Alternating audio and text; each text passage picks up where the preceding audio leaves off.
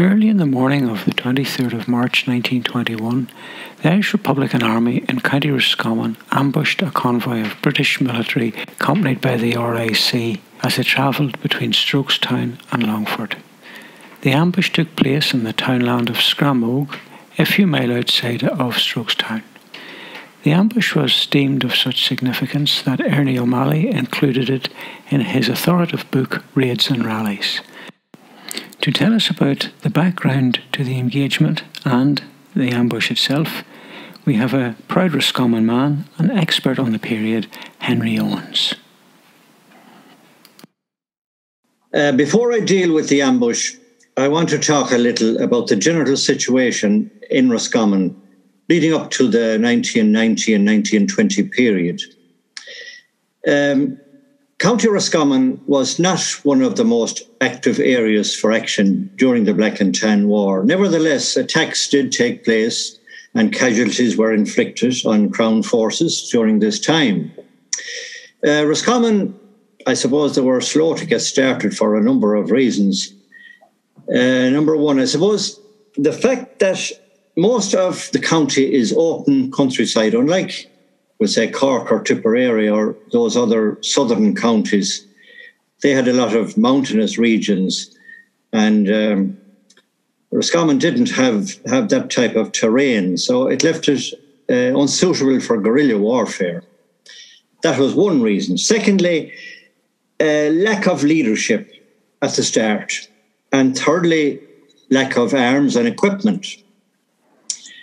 Now, Roscommon geographically is a north south elongated county. So, for organisational reasons, it was divided into two brigades. Uh, you had a border across the middle, and you had the North Roscommon Brigade and the South Roscommon Brigade. So, um, at the end of 1918, we had the general election and the great Sinn Féin victory. And of course, IRA volunteers were involved in the elections. Now, the year before that, Roscommon uh, returned the first abstentionist TD when Count Plunkett was elected in a by election for the constituency of North Roscommon. Uh, the reason for this uh, swing towards abstentionism and Sinn Féin was it was a sort of a protest vote because there was a threat of conscription, and uh, that would have swung a lot of people towards Sinn Féin at that time. Now, the elections were only a sideshow, really, and uh, the victory of Sinn Féin was a convenient event to have happened. And it was uh, a coincidence that it occurred at the same time uh, as the advent of military struggle because the IRA volunteers were going to launch their war on Britain anyway, regardless of the mandate, because um, they were already raiding for arms as far back as uh, the beginning of 1918. There were arms raids in the counties. And Ernie O'Malley was sent to Roscommon, and he spent um, a good term during the summer of 1918 organising companies and battalions and this laid the groundwork for the later activity. Um, by 1920, uh, the RIC were coming under attack throughout Ireland from IRA volunteers in different parts of the country. So there was a policy then, the, the RIC withdrew from the small rural barracks and they were all moved into the bigger towns to much stronger fortifications. And this made it harder for the IRA to attack those bastions because they were all um, steel shuttered, sandbagged, and barbed wire around them. So they were very uh, impregnable. But uh, at Easter, Easter 1920, the IRA decided to um, burn all the, the, the vacated barracks and on, on the, the night before Easter Sunday in Roscommon, Roscommon played his part. There was a lot of barracks burned to the ground that time. So that was the first sort of uh, concerted move against uh, the RIC. that was that was around Easter, yeah. Now it was maybe around the summer then, 1920. The IRA in Roscommon, they began to to uh, make a bigger impact. And between July and September, there were three ambushes on the RIC, um, resulting in three fatal police casualties. Now, the IRA also lost one member in those attacks. And by by the the end of the summer into the maybe the, the, the, autumn time, the, the war moved up a bit, moved up a gear because in October um, there was a, a, a, major ambush at Four Mile House, and four RIC men were killed in this ambush. This was the biggest ambush to date. Now the only drawback was um, they didn't, the IRA didn't succeed in capturing any arms because the driver of the the uh, tender, he uh, he was uninjured and he was able to drive through. But there was there were four casualties inflicted on the RIC. And of course, in the aftermath of the, those attacks, uh, there was you had the reprisal killings. Sometimes random people could be taken out of their house and shot, and in more in a lot of cases, uh, there were they happened to be IRA volunteers, and this had a demoralising effect on the movement. And activity sort of tailed off towards the end of 1920. And around that time, Sean Connolly, he was an organizer sent from GHQ. He was a Longford man, and he arrived in Roscommon towards the end of 1920 a uh, sort of to, to revitalize the volunteers and get some action going again.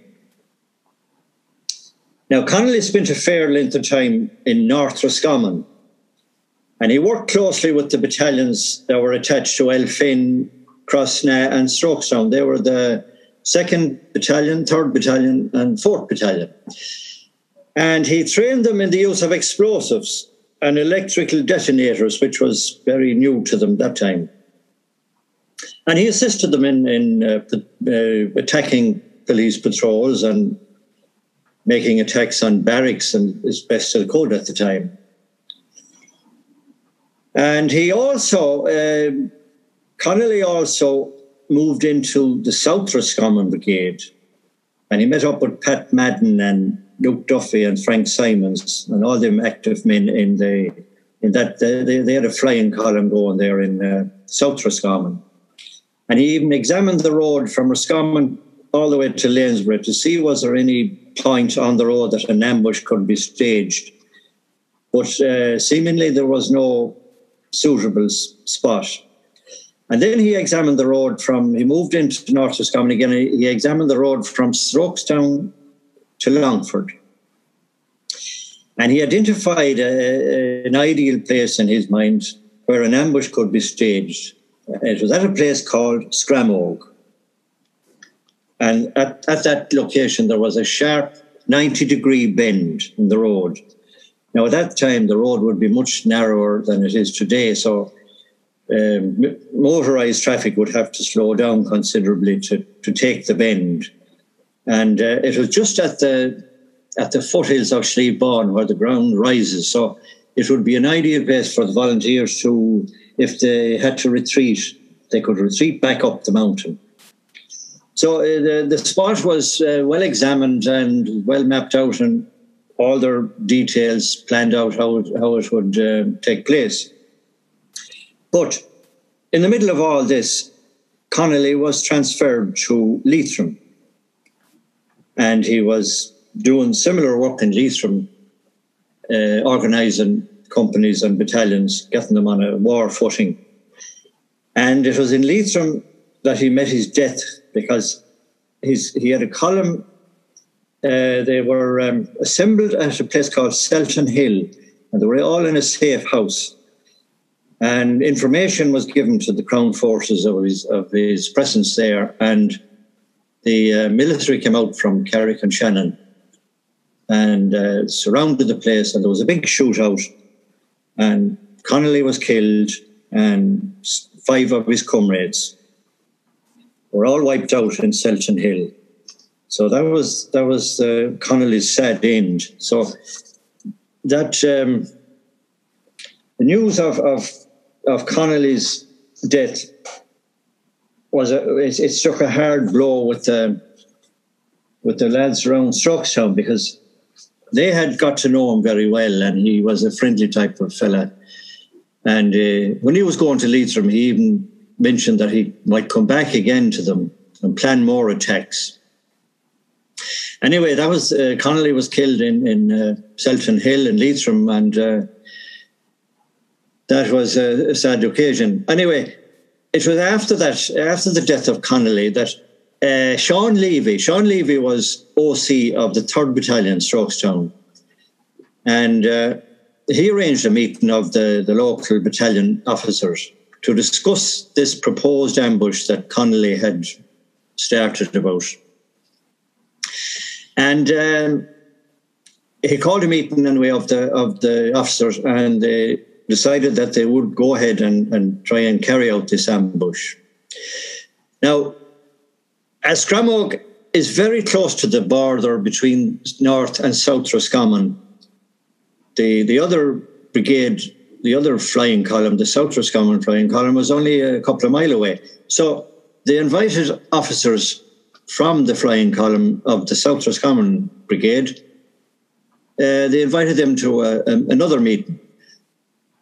So that meeting took place in Leavy's house. Leavy was the OC in, in the townland of Ashbrook, which is beside Scramogue. And at the meeting were uh, Martin Fallon, he commanded the Strokestown Battalion Flying Column, and Pat Madden, who commanded the South Roscommon flying column. Also in attendance were Luke Duffy and Frank Simons of the South Roscommon flying column. Um, leave, at the meeting, they told, some of them mentioned to Sean Leavy that when this ambush is over, there'll be reprisals and Leavy's house could go up in smoke along with a lot more of them in the vicinity because they were very close to the ambush site. But Leavy seemed to didn't give a damn. He said, is, is, "If the ambush is a success, he didn't. He couldn't care less about the house." So, so the day was set then for um, for the ambush. So the next thing was they um, they put a few scouts on the road to watch, monitor the traffic on that road from Strokestown to Longford. And, uh, and they, they watched it for a week or so, and they found that usually in the morning, the, early in the morning, there would be military traffic on it. Now, there could be one, two, or sometimes three in a convoy, but it's usually in the morning time. So they decided then that they would uh, set a date.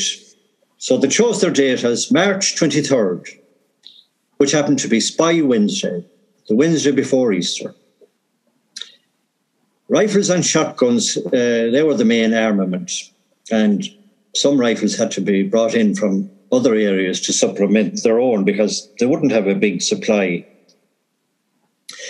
Now, the old road to Longford is now known as the N5 and it is the main Dublin Westport road, Westport to Ballina road. And now, since that, it has been widened and upgraded and partly rerouted in places. But at that time, it was a narrow, uh, like a secondary road. And of course, at at, Scra- at you had the sharp bend. So uh, now, this road as I, as I said, it was regularly, regularly used by British forces. And to attack one of those convoys with a small number of men or with limited arms, with limited firepower, that would be a daunting exercise. But the main reason why, of course, the main reason why an ambush was never attempted here was because they didn't have arms enough or they didn't have men enough. But on this occasion, those two flying columns mustered, two very active flying columns.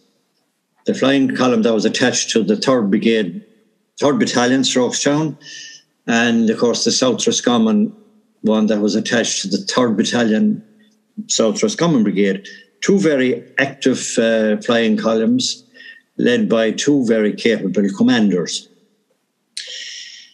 Now, they, they were mustered for the job, and um, a lot of other personnel were, were brought in for uh, peripheral work like uh, road blocking and scout duty and all that type of stuff. Anyway, the, the date was set March 23rd, and uh, they were all set for, for the, the ambush. Now, March 23rd, it dawned a typically cold, raw, but it was a dry March morning. And since long before daybreak, men of the two flying columns had been in the at the ambush site, preparing the ground for the coming attack. Now, civilians, the first thing that I had to do was remove civilians that were in a couple of houses that were close to the ambush site.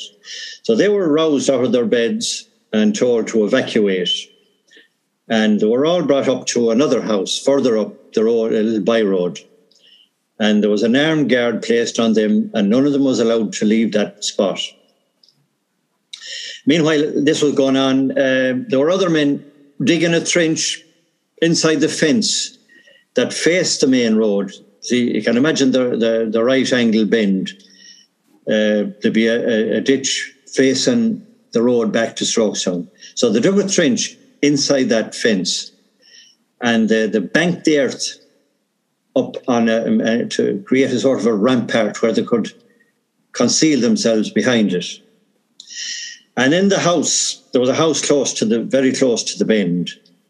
So there they, they raised the roof a little um, facing the road and propped it up and uh, made a few holes in the top of the walls, top of the front wall, where you could put a rifle through and you'd have a good view of the, the road Strokestown.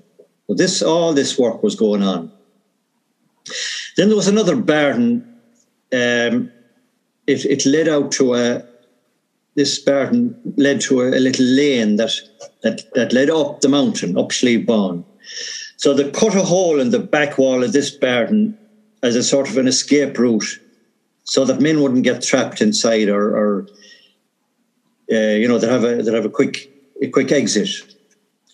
So this all this work was going on like from dark of the morning, you know, from probably three three o'clock in the morning on. Anyway, by six thirty, seven o'clock, all this work was done, and they were all in their. Uh, the OCs were uh, putting them in their different positions and telling them what they had to do. Uh, there was certain men were riflemen were put in the in the house with the loopholes, and uh, others were put behind the bank, and uh, shotgun men and this the shotgun men were put in a in a position where they'd be in close proximity to the, the lorries when they get to stop them or whatever. Other riflemen had to be put up, put, uh, they had to be positioned a bit further back up the hill, sort of to guard the flanks and watch for encirclement. And uh, all that, when, when everything was in order, the waiting started in because they didn't know what or when um, military trucks were going to come. So in the meantime, some men went uh, they went up to Leavy's and they had tea and refreshments on turns. Three or four or five would maybe would, would go up and grab a mug of tea and a, a bit of that time now to be probably a quarter of a soda cake and they'd rush back and maybe let up a couple of more lads and that sort of thing because I say they were getting a bit hungry at that time. Anyway, I think it would be around from between seven and half seven. A scout reported that there was a military vehicle approaching from the Strokestown uh, direction. And he could see that it contained soldiers and police and, and a mounted machine gun on it. All these tenders carried a mounted machine gun, a, Hotch, a Hotchkiss, and there'd be a, a soldier man in that, that machine. So every man was in position, of course, ready, ready. They knew what they had to do. And uh, the signal to open fire, Madden told them that he'd blow a whistle and that'd be the signal to open fire. So Madden had spent time in Dublin, you see, and uh, he had um, he had lots of experience of, of ambushes because he uh, took part in attacks up there with the Dublin active service units, and he was well used to, and he knew the he knew the tactics, like and knew what what to do. So when the lorry containing all the soldiers and police came along, it had to slow down a bit. But Madden let it come close, very close, and then he blew the whistle, and immediately everyone opened fire. All arms, shotguns, rifles, the whole lot. And uh, the driver, the driver was hit and shot. He, he must be shot dead because the the um, the lorry just careered into the ditch. Because he was hit very, he was probably the first man hit. And the machine gunner, he was the next man that was hit. Now he did fire, he did get to fire a burst of machine gun fire at the house. He he must doubt that that's where the main fire was coming from, and he did let one burst of fire at the house, but it didn't injure anyone. And um, the the machine gunner, uh, he was yeah he was hit by either a, a shotgun or a rifle, but he was put out of action straight away. Now all the others on the truck, they jumped off and into the field on the far side and, and got in behind the ditch. And then a short gun battle took place. Not very long because after a, a, short, a few minutes, maybe, the, they shouted that they were going to surrender and, the, and they raised their hands, threw down their rifles, and they put up their hands. And uh, they came out on the road with their hands up. And uh, Madden and the rest of the lads came out and took the surrender and they disarmed them.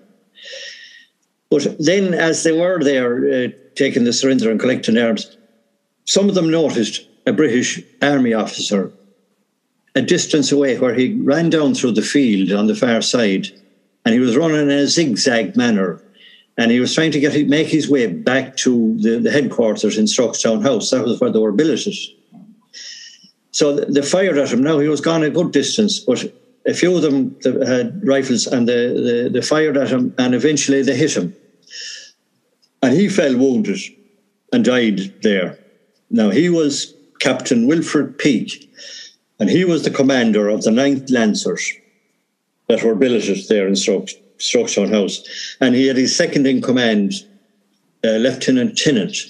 Now he was hit on the lorry, so he didn't he didn't get away at all. So he died as well. And I think two other members of Crown forces were killed. So there was four four lost their lives there in the ambush. Now, uh, two men in, in civilian clothes came out on the road. They had been on the truck as well. But they didn't at the start they didn't know who these men were. They were civilians. So Madden and the men assumed that there must have been IRA prisoners that was picked up someplace and they were being brought for questioning or brought for some some other uh, some other duty. But anyway, they assumed they were, they were IRA prisoners, and uh, the when the Madden said they'd move off quick from there because Strokestown House isn't that far away, and if if the word got back. Uh, the, the Lancers would be out on horseback and, and trucks and they could surround the place. So they were advised to move up the mountain quickly. And they brought the two the two civilians with them. But it wasn't long till they found out the two civilians happened to be black and tans. Now, funny thing, they were the black and tans were being brought by the military to Longford for a court martial for some minor offence. And that's that's how it happened. They were caught up in the ambush. Now, at this stage, the two black and tans had seen all the men that was involved and knew some of their names. So this placed Madden in a bit of a dilemma. So he um, he conferred with Luke Duffy and Frank Simons. Uh, Luke Duffy was the vice OC of the column, and Frank Simons was the um, adjutant. So he consulted with them about the two tens. What what were they going to do with them? So anyway, after a bit of debate, they decided that to, if they were to release them, And if if any of the column happened to be arrested, these two men could identify them, and their lives would be in danger. But they'd be more than likely executed if they're identified as taking taking part in the ambush. So it was decided that they'd have to be executed. So one prisoner was taken by the South Roscommon men, and they brought him away across the into their own area, and he was executed that evening and buried in a bog. And the other prisoner was taken by the North Roscommon and they brought him to the Shannon, and uh, they had planned to get a boat and bring him across to County Longford, and that he'd be shot in Longford, and that his body would be left in Longford.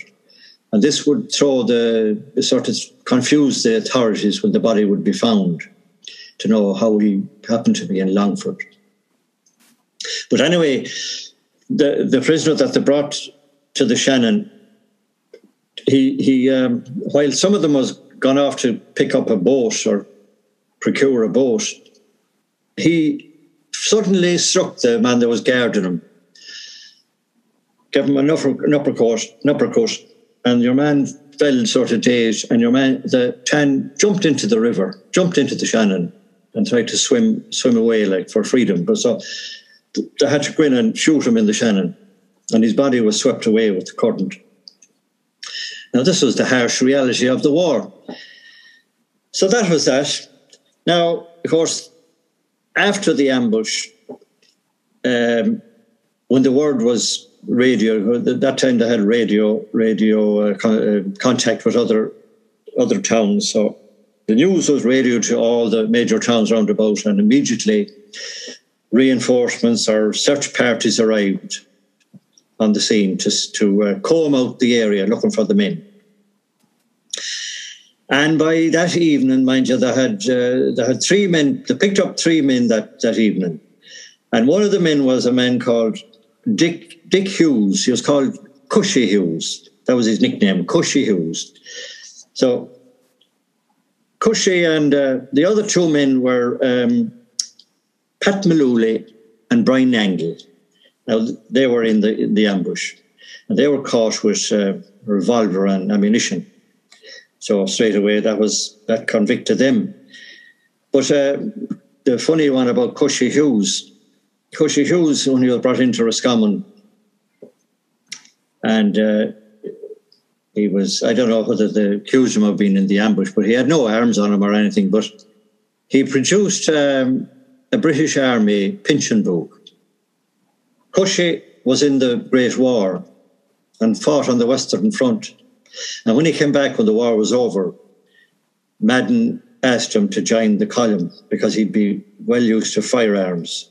So, of course, when he produced his British Army um, pension book, he was released straight away.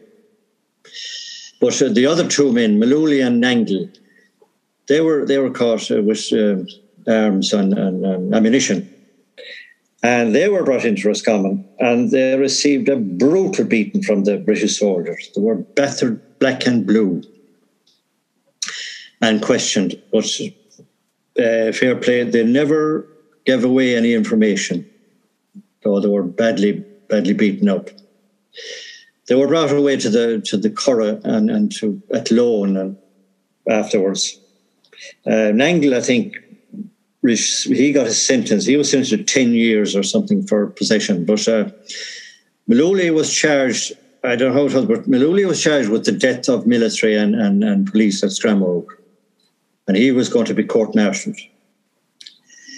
And uh, later on uh, in the year, in uh, that was March, uh, in a couple of months after, in May, he was still he was badly injured with the, with the the beaten up he got, and he got some other he got a skin rash, and he was he was moved to the hospital unit in the Athlone military barracks, and he got friendly with uh, one of the guards that was oh, guarding him, and uh, anyway he worked it that he, he the, it seems there was some sort of building work going on in the in the barracks complex, and he asked the guard would he be able to leave a ladder out someplace near a wall, and the guard said he would. Guard was friendly enough. So one night, Mullooly, when the, the he was in his hospital room, there was no guard in the room, but there was a guard outside the door.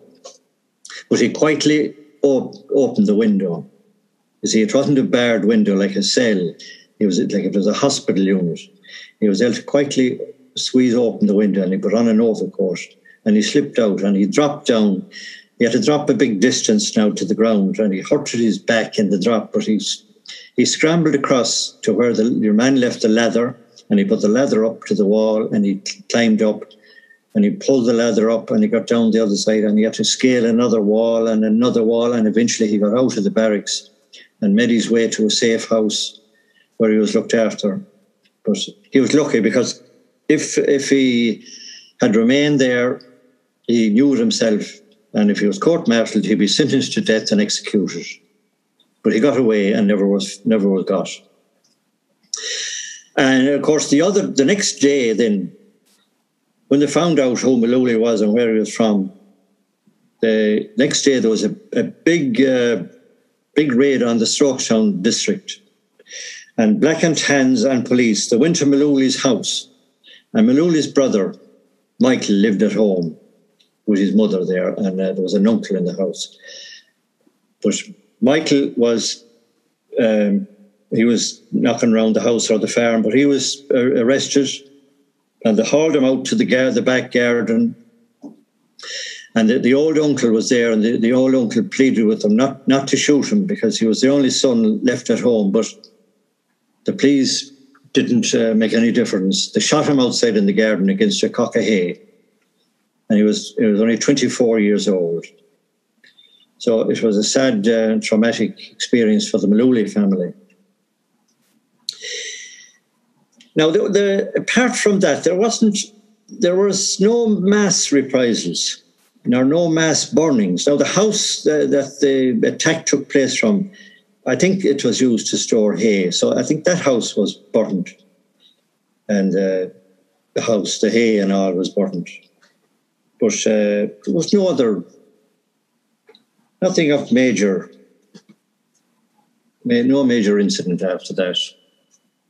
Now, of course, IRA activity continued in the county right up to the truce in July and the western part of County Roscommon paid a high price during this time with reprisal killings. The, uh, the month of April witnessed terror raids by Black and Tans and RIC and the shooting dead of an IRA volunteer and uh, a middle aged farmer who happened to be Church of Ireland. And he was taken out of his house and shot dead and on, on, on a night in April as well. And then later on in April, um, there was a three mem- there was three members of a flying column, and they were uh, there was a bit of a shootout in a place called Loughglynn, Loch Lynn Wood. Uh, one of them was arrested. Cap- the three of them were captured after the shootout. One of them was arrested and brought brought away to Castlerea and he, he finished up in jail. But the other two were summarily executed in the wood. And their names were Sean Bergen and Stephen McDermott, uh, fairly well known. There was a song made up about it, The Woodlands of Loch. So that, that's what went on over in, in, in, in that part of, of uh, Roscommon. And uh, even as far back as 1920, there was a lot of volunteers and civilians taken out of their beds, and some of them were shot in bed uh, over in, in the west part of the county. The trouble was over there, there seemed to be a lot of paid informers, and they were creating havoc with the IRA organisation. They were relaying information to the police about volunteer activity and and where safe houses were and all that type of stuff. Um, now, many of those agents were eliminated, but some of them were still working up, up nearly to the truth. You see, the Black and Tans and, and the military in uh, Castlerea, they were billeted in the barracks there and in Castlerea, and uh, they were aided by a very dutiful RIC sergeant. And he knew every lane and back road around Castlerea and Loughglynn and all that West Roscommon area. And he he accompanied them out on their to on a nightly raid that know where they were going, exactly where they were going, and, and into a house and they'd find maybe uh, a volunteer or two that were on their own, and they'd be shot shot in the bed or shot outside the door. And this the unit became known as the Castlerea Murder Gang, and they played havoc over there with, with uh, these assassinations. But the sadistic sergeant, he finally, he even carried out some of the shootings himself. But he finally got his just deserts on the 11th of July 1921, just hours before the troops came into operation. He spent most of his time in the barracks and only went to the house, to his own house when it was very safe to do so. But it seems uh, coming up to the truce time, he let his guard down a bit because he came out of his house that morning intending to go to the barracks and he had a bicycle with him. But before he could mount the bicycle, two volunteers emerged and he was shot dead on the street. They were waiting for him there, and they knew that the, the truce was coming into operation and that if the truce was if the truce had come, he couldn't be uh, he couldn't be assassinated. So he was dealt with hours, just hours before the truce. Now, I'd say that's nearly concludes all the the um, the background and the um, events after the ambush. So, thank you very much. And thank you, Henry. That was Henry Owens delivering that very enlightening, comprehensive account of the ambush at Scramogue the background to the event and the follow-up.